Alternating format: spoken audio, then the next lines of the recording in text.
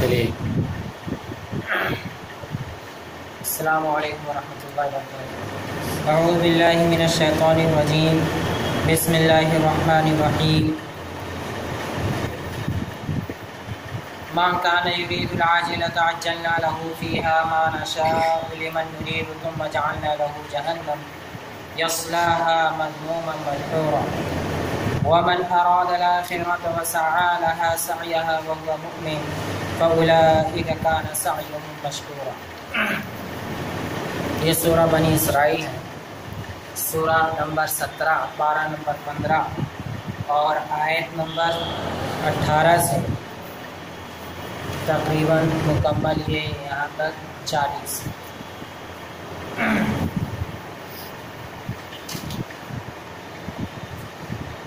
یہاں اللہ رب العالمین نے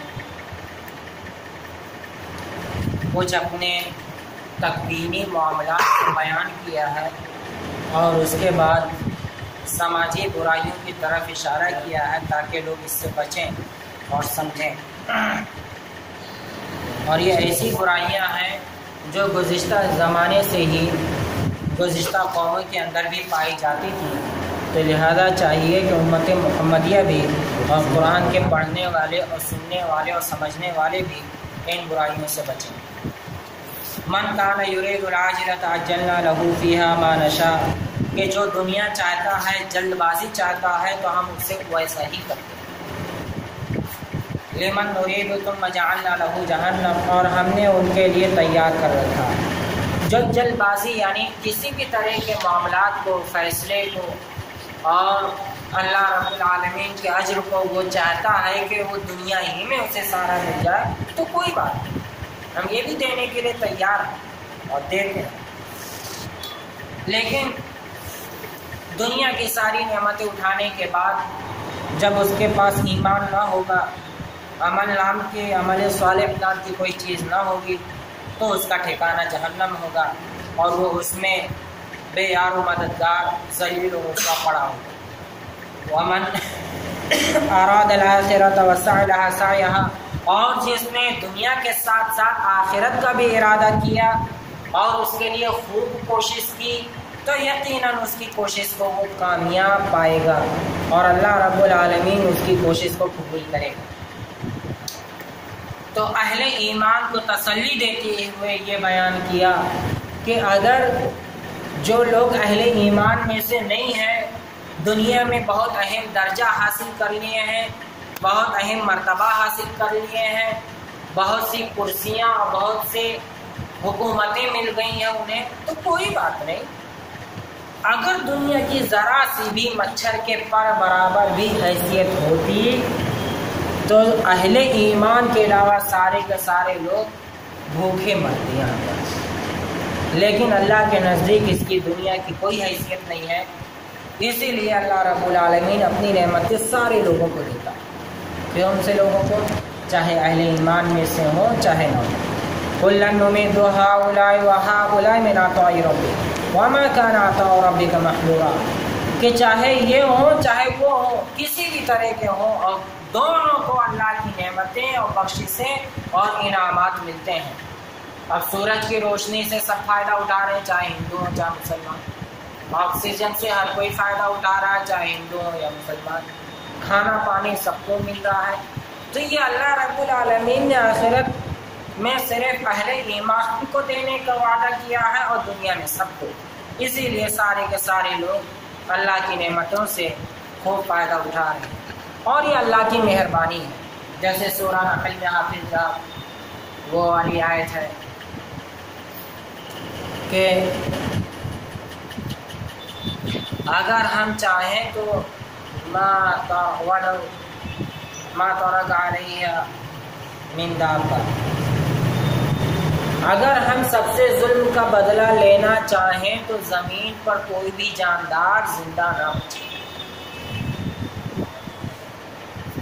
زمین پر کوئی بھی جاندار زندہ نہ بچے یہ تو اللہ کی مہربانی ہے کہ اللہ نے اپنے تقوینی ارادے کے تحت سارے لوگوں کو دنیا میں نعمت دینے کا ارادہ کیا ہے۔ اسی لیے سارے لوگ اس سے مستفید ہوتے ہیں انظر کیف بعضهم على بعض۔ اور ان میں بھی دیکھو اللہ رب العالمین نے درجات بنا رکھے کوئی بلین ڈالر کا مالک ہے تو کوئی ٹریلین ڈالر کا مالک ہے۔ کوئی ملک ہے تو بہت سپر پاور ملک ہے، کوئی غریب ملک ہے۔ آدمی میں بھی، سماج میں بھی کوئی ہزاروں کے مالک ہیں، کوئی دس ہزار کے۔ کسی کے پاس تو کاجو بادام کھانے کے لیے ناشتے آتے ہیں یا کوئی روٹی کو ترس رہا ہے؟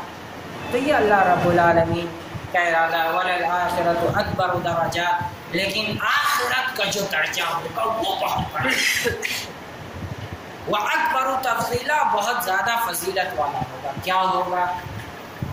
اللہ رب العالمین نے بیان کیا جسے میں نے گزشتہ دروس میں بھی بارہا بیان کیا ہے کہ ایک مثال رکعت الفجر خیر من الدنیا وما فیہا ہمارے سعود بھائی بتا رہے ہیں کہ دنیا میں سب سے مہنگے، مہنگا شہر جو ہے وہ دبئی ہے۔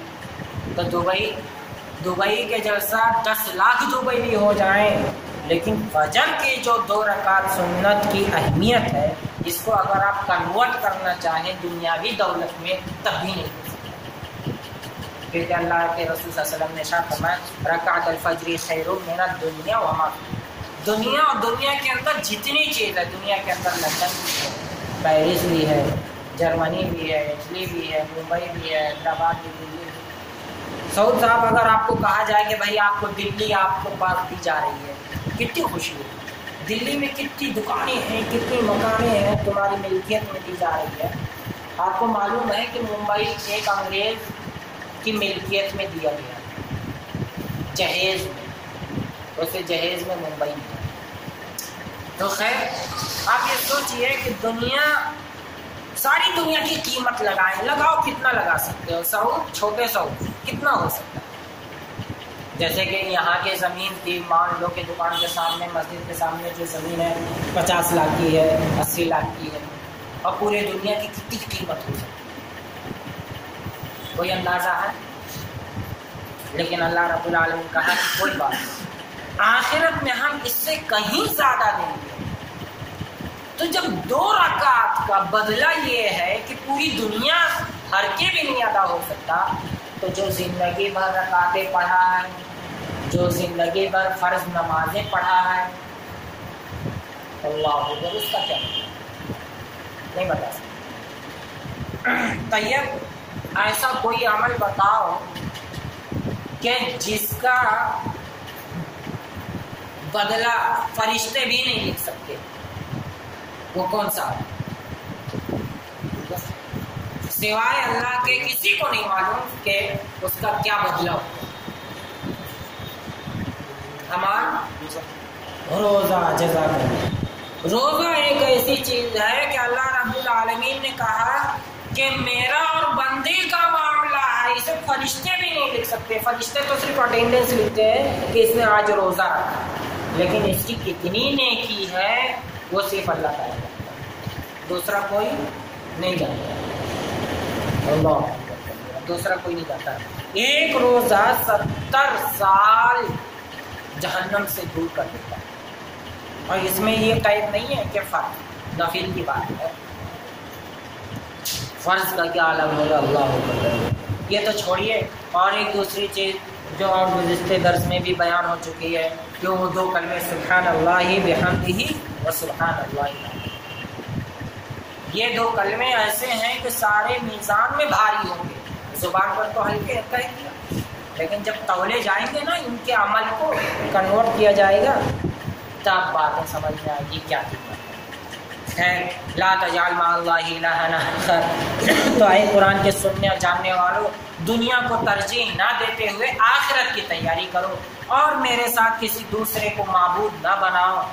فتح خدا مضموم مخدولہ ورنہ ذلیل و رسوا جہنم میں پڑے ذلیل و رسوا جہنم میں پڑے وقضا ربک اللہ تعبد اللہ اور اللہ رب العالمین نے وعدہ کیا ہے، فیصلہ کر لیا ہے کہ صرف اور صرف اسی کی عبادت کی جائے۔ عبادت کرنے کا مطلب قولی عبادت یعنی بول کر زبان سے، سبحان اللہ بحمد سبحان اللہ، العظیم، تلاوت، کوئی بھی چیز۔ بدنی عبادت، چل کے، پھر کے، یا جہاد۔ اور قولی عبادت، بدنی عبادت قلبی عبادت۔ اللہ سے ڈرنا، اللہ سے پکانا اللہ سے امید رکھنا، دعائیں اللہ ہی سے مانگنا، یہ ساری عبادت اللہ کے لیے ہونی چاہیے۔ اور اسی بات کی تشریح اللہ رب العالمین نے اپنے رسول اللہ صلی اللہ علیہ وسلم نے اس کلمے میں کہی ہے التحیات میں۔ التحیات للہ والصلوات والطیبات۔ اس کا کیا مطلب التحیات ساری دل کی عبادتیں اللہ کے لیے۔ التحیات۔ بہت سے پڑھتے ہیں سو بچوں کو جب پڑھاتے ہو تو اس کا دھیان رکھو۔ بہت سے لوگ پڑھتے ہیں التحیات۔ التحیات۔ التحیات۔ کیا ہے؟ التحیات۔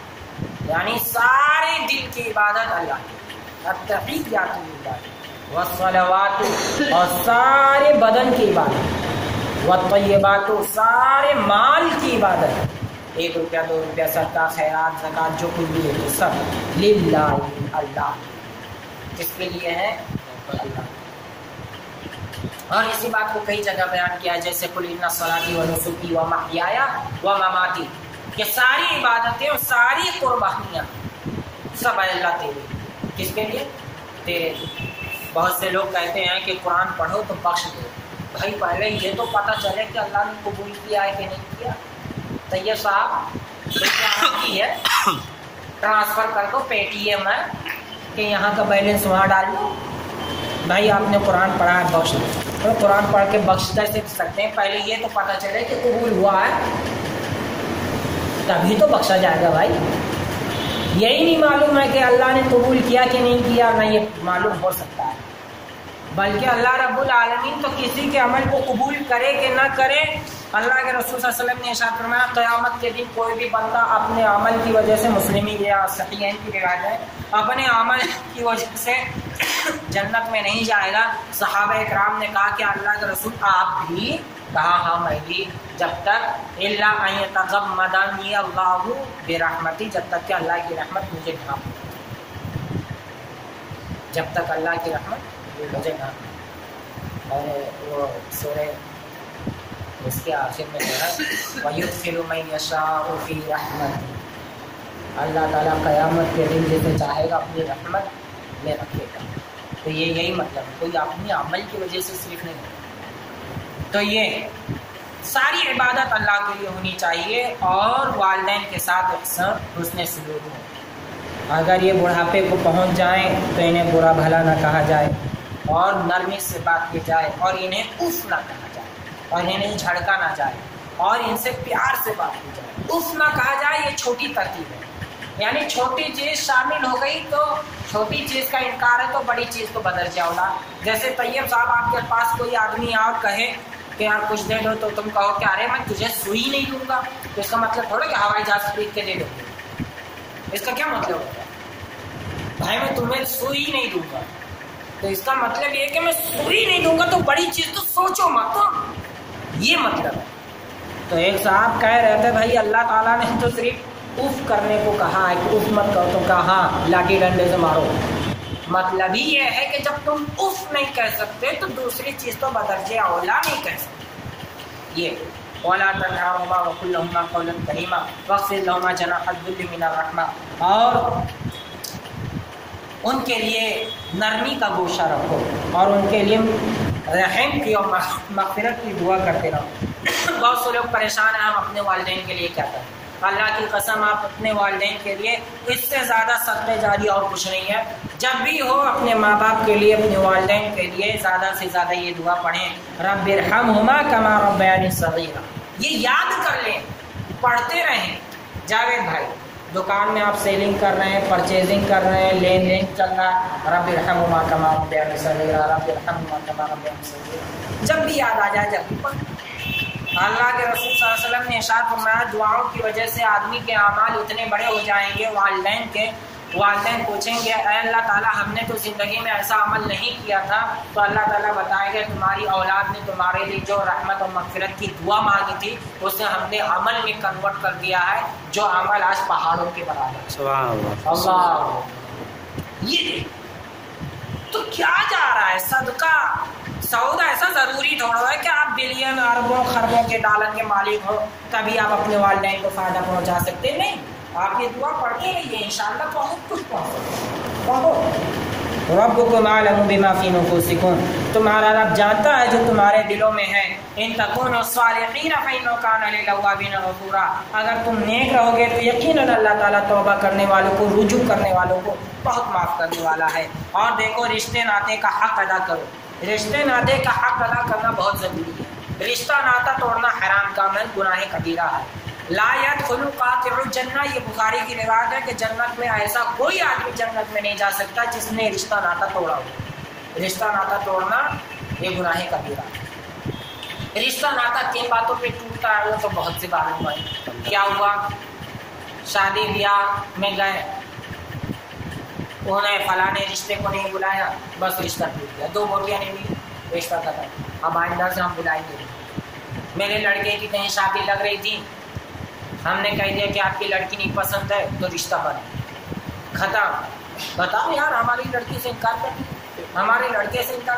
ارے بھائی، یہ ضروری جبری چیز ہے کہ ایک بار تم نے زبان ڈالا تو قبول ہی کیا جائے۔ نہیں آیا، نہیں پسند ہے بس بات ہے لیکن اس سے اب جب تک نسل زندہ رہے گی، بات چیت بن آنا نہیں گھر پر۔ ملنا نہیں ہے اس سے۔ عید میں بھی نہیں ملتا۔ اللہ یہ سب گناہ کبیرہ ہے والمساکین وابن السبیل، والمسکین وابن السبیل۔ اور مسکینوں کا حق ادا کرو اللہ تبذ تبذیرہ اور فضول خرچی نہ کرو۔ دیکھو، یہ سیاق دیکھو، پیچھے کا۔ یعنی رشتہ کا حق ادا کرنے میں، مسکینوں کو دینے میں اور مسافروں کا حق ادا کرنے میں اتنا حق ادا نہ کر دو کہ خود فقیر ہو جائے۔ حساب سے لمٹ ہے۔ ایک دم اعتدال میں۔